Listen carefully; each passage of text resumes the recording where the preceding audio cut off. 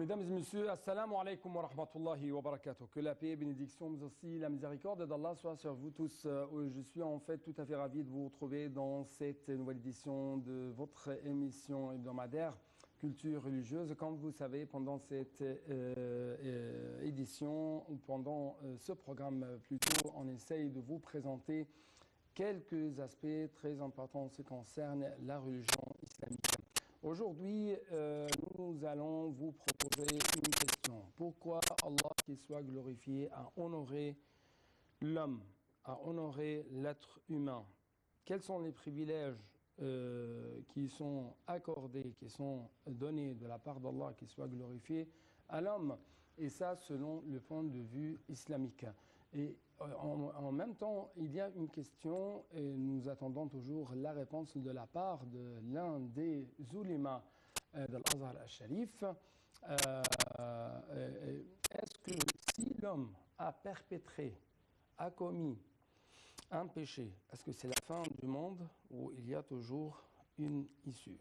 Donc, donc c'est ce qu'on va savoir ensemble durant cet épisode à travers les et les éclaircissements de notre euh, grand imam euh, Al-Husseini Fahmi, membre très éminent au sein euh, du Centre mondial des fatwas islamiques euh, de l'Azhar, bien sûr.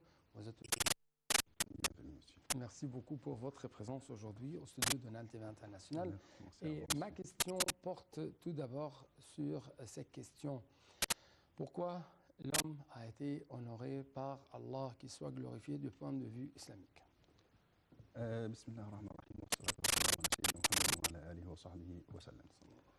Euh, Allah subhanahu wa ta'ala a créé l'homme par, sa, sa, ses mains. Allah subhanahu wa ta'ala euh, à partir de l'argile, Après cela, Allah subhanahu wa ta'ala en lui de son, dans son esprit.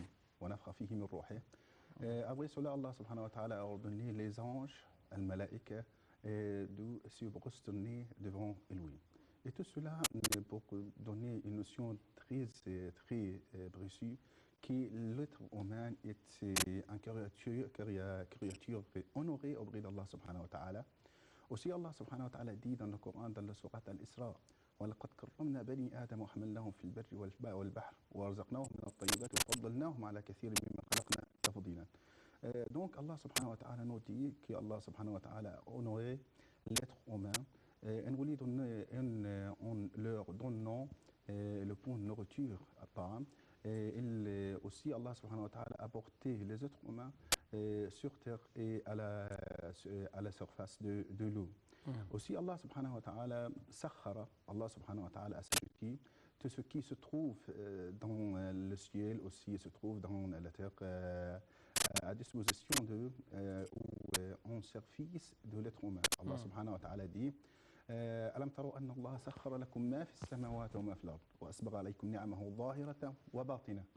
Donc Allah subhanahu wa ta'ala a ce qui se, trouve euh, soit sur terre, soit euh, à la surface de l'eau, pour euh, service l'homme, ou l'être humain.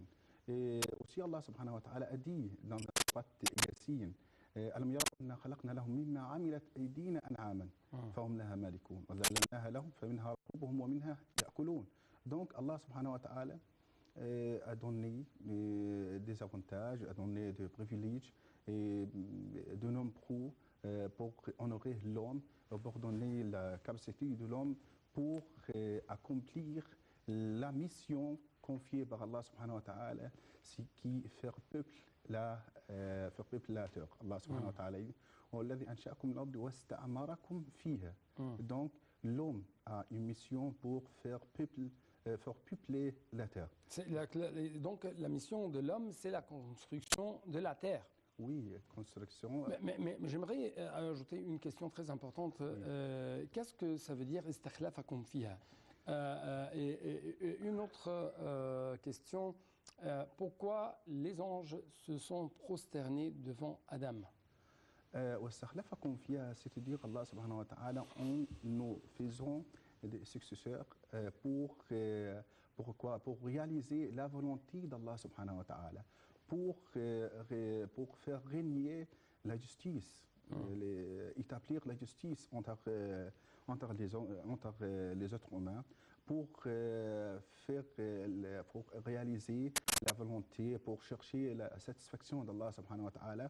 Euh, ال- Allah subhanahu wa ta'ala dit euh, aux anges euh, وإذ قال ربك للملائكة إني جاعل في الأرض خليفة قالوا أتجعل فيها من يفسد فيها ويسفك الدماء ونحن نقدس بحمدك ونسبح لك قال إني أعلم ما لا تعلمون Donc Allah subhanahu wa ta'ala, quand il a fait de, euh, d'Adam euh, un successeur, même si même les anges euh, interrogeaient pourquoi Allah subhanahu wa ta'ala a fait euh, d'Adam euh, comme un successeur, mais Allah subhanahu wa ta'ala, c'est la vérité, c'est la réalité, que l'Adam a une mission très importante et très honorée, c'est peupler la terre. peuplé la terre.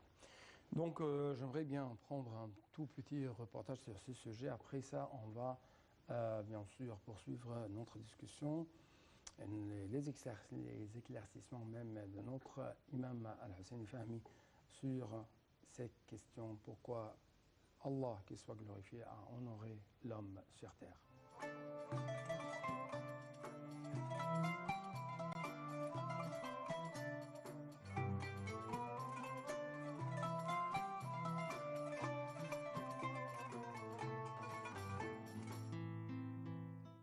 Le regard porté par l'islam sur la valeur de la vie est à effet sacré. Allah, exalté soit-il, a créé les gens sur un principe d'innocence et de responsabilité. C'est-à-dire que l'homme est né innocent et chargé de mission. Sa nature, prédisposée à la dignité, en fait une créature dont l'importance est énorme et le but de la vie est vraiment utile. C'est pour cela qu'Allah, glorifié soit-il, l'a honoré et l'a élevé à un rang imminent. Nous avons certes créé l'homme dans la forme la plus parfaite. Ensuite, nous l'avons ramené au niveau le plus bas, le figuier, versets 4 et 5. Mais au cas où il est dévié du bon chemin, il sera ramené à la misère. À ce propos, le prophète a dit Tout humain naissait sur la prédisposition originale et que c'était ensuite qu'il pouvait en dévier. De là, Allah le Très-Haut a accordé une grande importance à la vie des gens, nous a ordonné d'être en faire grand cas et de s'y intéresser, vu son caractère saint. Allah dit dans le Coran, c'est lui qui a créé la mort et la vie. Pour vous éprouver qui agira en bien.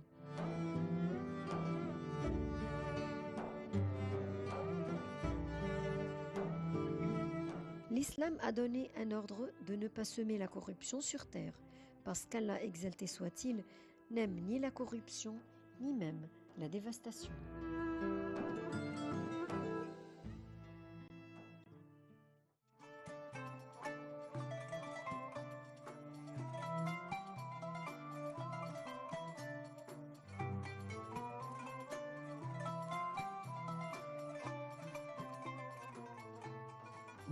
Chers téléspectateurs, euh, comme vous avez euh, justement euh, regardé, Allah, qui soit glorifié, a accordé, a donné à l'homme sur terre des privilèges, a honoré l'homme, mais selon le point de vue islamique, il y a toujours, à, à côté des privilèges, il y a toujours des obligations. Donc, est-ce que vous pouvez nous expliquer quels sont les privilèges et quelles sont les obligations qui euh, sont accordées ou même euh, données à l'homme sur terre de la part d'Allah qui soit, euh, glorifié Ah, Bien sûr, Allah subhanahu wa ta'ala a donné, euh, l'homme quelques, quelques obligations, aussi quelques privilèges. L'obligation, Allah subhanahu wa ta'ala a donné l'homme pour établir la justice, pour euh, les dépôts. إن الله يأمركم بالعدل والإحسان وإيتاء ذي القربى. Euh, Aussi, Allah subhanahu wa ta'ala est obligé, euh, Allah subhanahu wa ta'ala a ordonné les êtres humains de quelques obligations euh, pratiques euh, comme euh, la prière, euh, comme euh, la zakat, aussi euh, comme euh, la zakat ou le hajj, le pèlerinage euh, vers euh, la Mecque. Euh, aussi, Allah subhanahu wa ta'ala a donné quelques privilèges, pri- privilèges euh, Euh, aux êtres humains, Allah subhanahu wa ta'ala a favorisé les êtres humains par euh, le don de la raison, euh, l'esprit, l'esprit hmm. sur lequel Allah subhanahu wa ta'ala euh, lui euh, donnait quelques missions, quelques, bah, quelques charges, selon lesquelles hmm. les êtres humains distinguent d'autres, se distinguent d'autres créatures. Donc euh, la différence, la différence entre les êtres humains et euh, les animaux, euh, les êtres créatures, c'est la raison, c'est l'esprit. Euh, L'homme euh, a la faculté pour euh, distinguer entre le bien et le mal, euh, entre euh, le bienfaisance, entre les malfaisances. Mm. Tout, tout cela dépend de la raison.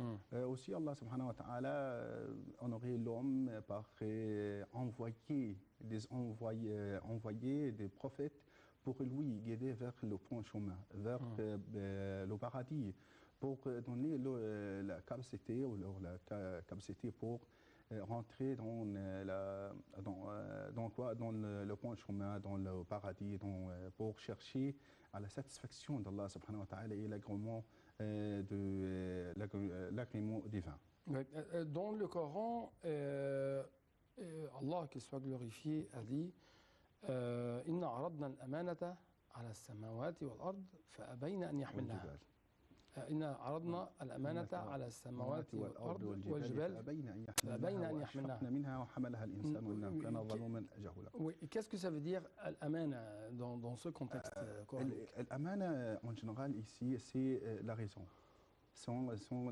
l'esprit. Nous euh, ne sommes pas les dépôts. les- aussi, euh, les, les êtres humains sera, sera euh, questionné sur la, la raison. Mm, Tu utilisez votre raison dans quelle, euh, dans quelle euh, voie mm, et utilisez votre raison, votre intelligence pour euh, établir le, le- le mal, pour euh, assumer le mal, la corruption. Allah subhanahu wa ta'ala, euh, la yuhibbu al-mufsidin. mm. Allah n'aime euh, rien, euh, n'aime euh, n'aime pas les corrompants, Ouais. المفسدين. وأوصي الله سبحانه وتعالى أفحسبتم أنما خلقناكم عبثا وأنكم إلينا لا ترجعون. Ouais. Donc, euh, la raison et l'esprit sont les la, la, la, signification de, de, cette euh, partie coranique. Euh, ça, ça veut dire qui pensez-vous que nous vous a créé enfin et que vous n'y retournez pas vers nous? Mm. Ça veut dire que il n'y a pas d'absurdité dans la créature euh, faite par Allah il n'y avait pas d'absurdité dans le destin imposé par Allah, qu'il soit glorifié, sur l'homme. Il y a sûr. toujours une, une sagesse. oui, Ouais. Allah subhanahu wa ta'ala, quand il a créé quelque chose, il l'a créé par sagesse, avec sagesse. Avec une sagesse, cette sagesse peut être euh, connue pour nous et pour autres n'est pas connue. Mm. C'est pourquoi Caché. caché. C'est pourquoi, pourquoi euh, dans la prière, euh, par exemple la prière de, de midi, quatre euh, rak'ah. Mm. Pourquoi la, la prière de la prière de Subh ou Loup, deux rak'ah seulement? C'est une sagesse euh, revient à Allah subhanahu wa ta'ala. Son euh, connaissance, son savoir euh, revient à Allah subhanahu wa ta'ala. Mais pourquoi Allah subhanahu wa ta'ala a obligé la- le zakat? Allah subhanahu wa ta'ala a obligé le zakat comme une solidarité, une solidarité sociale entre les riches et les pauvres, Mm. pour aider, pour que euh, les riches savent, savent que euh, les pauvres ont une partie dans leur, euh, dans leur euh, richesse. Mm. Parce que, puisque tous les, tous les êtres humains, ce que Allah subhanahu wa ta'ala, c'est le, le seul propriétaire. Mm. Et que les obligations d'Allah subhanahu wa ta'ala doivent être établies واجبات الله سبحانه وتعالى يجب أن تكون يجب أن تطبق. Donc Allah subhanahu wa ta'ala, il a créé toutes choses avec sagesse. Ouais. D'accord Euh, justement, nous devons euh, vous inviter avec nos chers téléspectateurs à visiter euh, une mosquée monumentale dans notre euh, capitale islamique.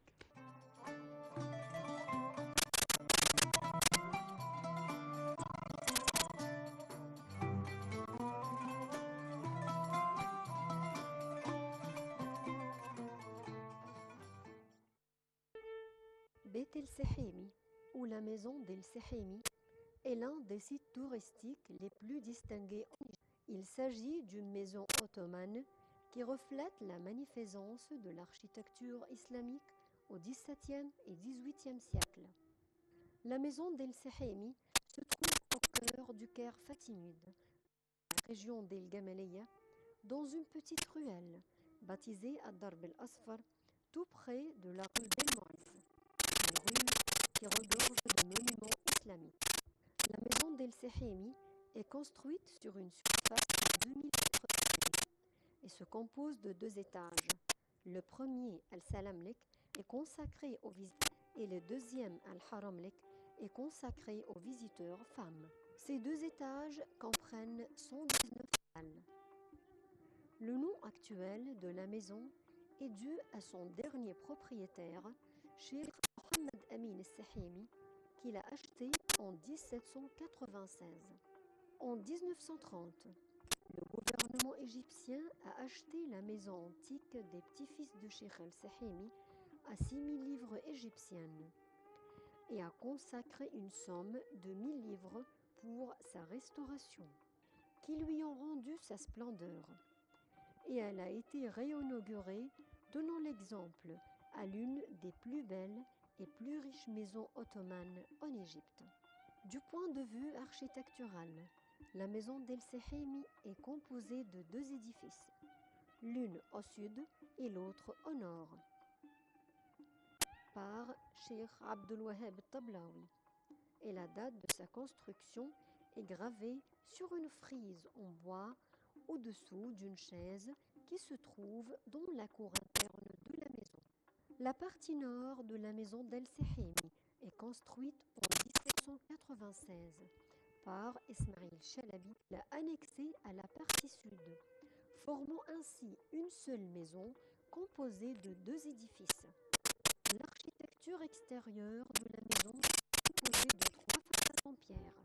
La première est la façade principale, qui se trouve dans le côté sud-ouest et est composée de trois étages et donne sur la ruelle del Dalb asfar Juste au milieu de la première étage se trouve l'entrée principale de la maison, formée d'un arc brisé. Et à gauche de cette entrée, il y a une autre porte qui conduit vers les annexes de la maison et vers le tombeau du cheikh Nasreddin al-Arba'in. La façade de cette premier étage renferme un nombre de fenêtres devancées de grillages en bois. La deuxième façade de la maison se trouve dans la partie sud-est et donne sur les ruelles del Darb el-Asfar. Et elle se compose de deux étages. Cette façade, comme la principale, renferme plusieurs fenêtres. Dans la partie est de la deuxième façade, il y a une porte qui conduit vers le jardin postérieur de la maison. La côté nord-est. Maintenant, partie de cette façade est complètement démolie. L'entrée principale de la maison d'El Sehemi